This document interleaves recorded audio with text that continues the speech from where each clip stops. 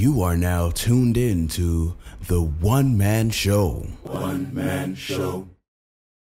You are watching the One Man Show. One man! Backing Britain.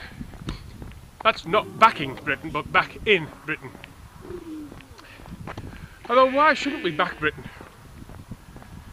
After all, we told yesterday, most people in employment for years, biggest drop in unemployment for years. Personally, I don't believe it. But it's good news. If it's good news to make everybody feel better, crack on. So, what's the one man rant for today? Well, there is a rant. If you're a woman, I'm sure I'm going to get some stick about this, but I don't care. Before I went away, a girl, woman, lady from nearly 30 years ago popped back into my world. We had an amazing relationship back in 85, 86. But you know when things come back, where perhaps you initially didn't remember them? And I recall she devastated me, she dumped me. indications at that time suggested that she loved another instead with ginger hair. And I've got nothing against gingers. But she was also a bloody flirt. But that was when we were in our 20s but those feelings came back as crazy as it may sound but I decided I didn't want to follow up I didn't want to see her. Those feelings that I've got, they're always going to come in the way. And then, oh my bloody God. 36 hours on WhatsApp badgering the hell out of me. Trying to use psychological warfare on me. I'm a coward, I'm a wimp. I'm not going away, I can see you. So I blocked her. And then I decided I wasn't going to respond to sod all. After all, it's my life. Nobody else's, it's mine. Anyhow, yesterday, she sent an email and I made the fatal mistake. I responded saying, you don't give in, do you? that has set off another 12 hours of what I am now classing as frickin' harassment. I've told her I'm not interested, leave me alone. Nice to hear from you, sod off. I then get life story after life story after life story on the email. Even more this morning. What the hell? Would you want to be involved, you know, with a woman like, like that? It's as if she's fucking stalking me. God, it's only me. Mr. Motorbike TV. It's only me. Um, saying that I'll, I'll ride your motorbike with you. I'll live in Bosnia with you. I'll lay in your clothes for you. I'll do anything. It's quite pathetic, really, isn't it? And it's put me off even more.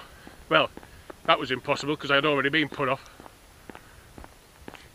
So where do you go from there? I don't know. Anyhow, moving on. Motorbike adventures starting again. Next week I'm off to Mid Wales, South Wales, and then it's Devon, Cornwall, North Norfolk, because that North Norfolk coastline is pretty goddamn lovely. And then I'm going off into Scotland. Now it's a massive country. I'm just going to go and whiz around Scotland. It's probably going to take me four to six weeks to do it.